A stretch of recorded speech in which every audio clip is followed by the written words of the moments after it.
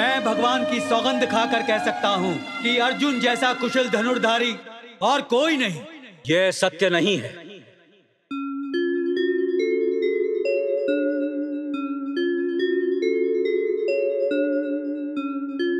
क्षमा करें गुरु जी आप अनजाने में ईश्वर की झूठी सौगंध ले रहे हैं। मुझे अपना कौशल दिखाने का एक अवसर दिया जाए। हाँ जी। हाँ मामा श्री। हाँ जी तेरे शकुनी मामा को लगता है कि ये जीता जागता पासा तो भगवान ने तुम्हारे लिए फेंका है।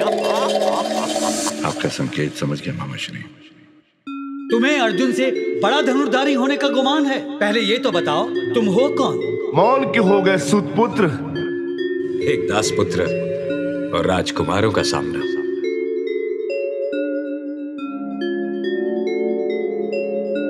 यह अन्याय है? ये मेरा मित्र है। राजा सर झुका के नहीं, सर उठा के जीते हैं।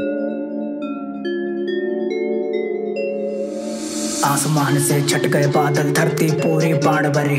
अर्जुन जी ने देखा मंजर फिर से युद्ध में जान भरे। दो भाइयों में बढ़ गई बात, आजमा रहे दो दो हाथ। कौन है सबसे शक्तिशाली? बाणों ने फिर उड़ान भरे। शस्त्र विद्या में अंगराज की शक्ति का आभास हुआ। सोत पुत्र थे कह रहे जिसको क्षत्रिय का एहसास हुआ। एक बराबर दोनों घोषित कर दिए गए थे। बल को आँख के रण में ऐसे लड़े है योद्धा जैसे दृश्य खास हुआ। भीष्म पितामह आगे बढ़कर हस्तिनापुर की बात करे धृतराष्ट्र की जगह युधिष्ठिर को घोषित सम्राट करे। दुर्योधन से सैन हुआ ना कैसे, फिर से छिना सिंहासन, आग लगा दूँ, जी चाहता है फिर तो मैं ही करूँगा शासन दुर्योधन ने लेना है बदला, मन में ऐसी ठान रखी थी। धर्मराज की दुर्बलता, मामा शकुनी ने जान रखी थी। बासों का शुरू खेल हुआ, हर दाव था ऐसा फेल हुआ, फिर रणभूमि तक बात जब पहुँची, राजनीति का खेल हुआ।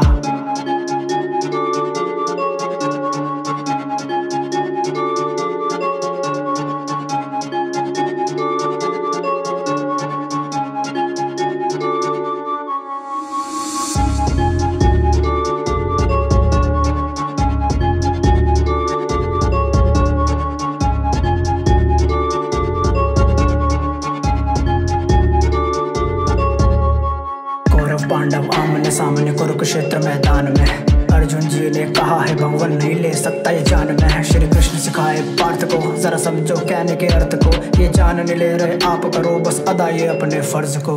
क्यों नहीं लड़ सकते? मेरे बाणों के निशाने पर अपने ही सगे संबंधी हो। तो फिर मैं बाण कैसे चला सकता हूँ? मेरे पाँचों पुत्रों का जीवन तुम्हारे हाथों में है। तुमने तो मुझे त्याग कर अपनी झोली खाली कर दी थी। आत्मरक्षा के लिए हथियार उठाना अपने अधिकारों के लिए लड़ना। पर मैं तुम्हारी झोली खाली नहीं रखूँगा। न्याय और धर्म के लिए युद्ध करना हिंसा नहीं। चलो मांग लो जो चाहिए। वीरता। कर्ण लड़े जब रणभूमि में पार्थ का चलना पाया ज़ोर एक तरफ़ था मित्र वचन और एक तरफ़ अर्जुन का शोर। सूर्य पुत्र की ताकत को ना पार्थ अभी तक जान सके। बल प्रदर्शन करे, बराबर कर्ण बात का ध्यान रखे। प्राण ने लूँगा वचन दिया है, पुत्र बचेंगे ज़िंदा पाँच। आपने बेशक प्यार दिया ना, पुत्र को आने दूँ ना आँच मांग लो जो मैं वो दे दूँ, अर्जुन को ना कुछ होने दूँ। माता का भी वचन निभाऊं, पुत्र बचे तभी आपके पाँच।